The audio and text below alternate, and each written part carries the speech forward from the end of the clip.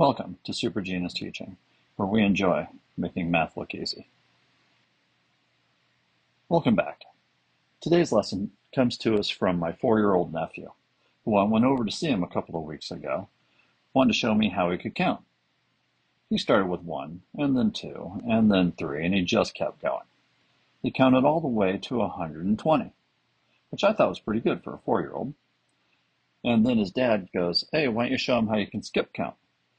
And he proceeded to go two, and then four, and then six, and he kept going with that too. I'm not sure if he knew what he was doing. I think he was just counting all the even ones. I'm not sure he realized that when he counted skip counting, that he was skipping the one and counting the two, skipping the three and counting the four, skipping the five and counting the six. But he did a really good job of it. And it made me start to wonder. Back when I was a kid, we used to count by ones and then we'd count by twos. We'd skip count fives when we were playing hide and go seek, and we'd even skip count tens. But what we didn't do is we didn't do a whole lot of skip counting when it came to threes. And I was wondering if my nephew was doing that too, or if my, uh, or if his dad was going to have him learn how to skip count by threes. Because it's kind of the same thing, only instead of just skipping one and going to the second number, you skip two and go to the third number, and skip two more and go to the third number and so on and so forth. That's why when you skip count by threes, you get three, then six, then nine, then 12, then 15. And if you just wanted to keep doing this, you could skip count by fours. Again, skip three numbers, go to the fourth number. Skip three numbers, go to the fourth number.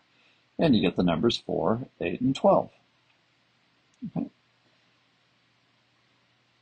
And so when you're skip counting, you notice that when you're counting by ones, it's 1, 2, 3, 4, 5, 6, 7, 8, 9, 10. We got our twos, we got our threes, we got our fours, and we got our fives. And you could keep doing this. You could skip count by sixes and sevens and eights and nines. I don't ever remember doing that. So why am I bringing it up? Well, it made me just kind of wonder, what do all these skip countings look like if we line them up right over the top of each other?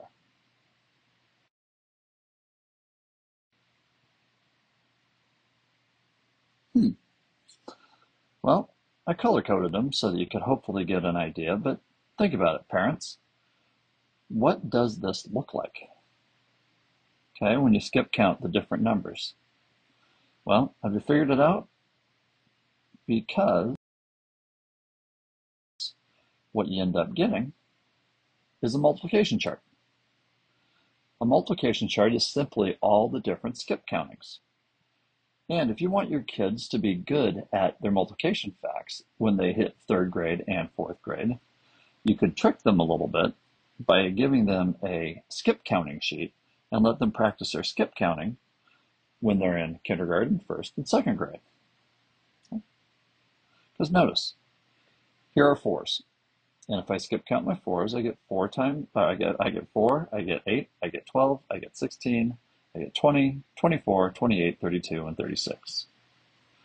All right, which is 4 times 1, 4 times 2, 4 times 3, 4 times 4, and you get the idea. So without your kindergartner, first grader, second grader even realizing it, you'll be helping them learn their multiplication facts, which is one of the most important things they can know once they hit third and fourth grade.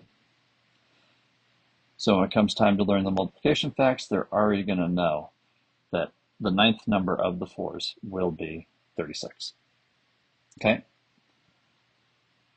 All right, and that's kind of the lesson I just kind of wanted to share with you. I encourage everyone, give your kindergartner, first grader, second grader, a multiplication chart. You don't have to tell them it is a multiplication chart. And you can get them a head start on learning their multiplication facts, which will definitely get them a head start on fractions and algebra in the future. And I can't resist. Here's one more pattern that I wanted to make sure you realized. Notice, we have our skip counting of our sixes right here. However, did everyone notice that you could also skip from top to bottom? And you can get your kids kind of used to the fact of going from right to left as well as going from top to bottom. All right, and that's all I got for you. So take this uh, piece of advice and let me know if it works out for you. Have a great day, everybody. And thanks for uh, coming to Super Genius Teaching, where we enjoy making math look easy. If you like our channel, please feel free to subscribe. We'd love to have you.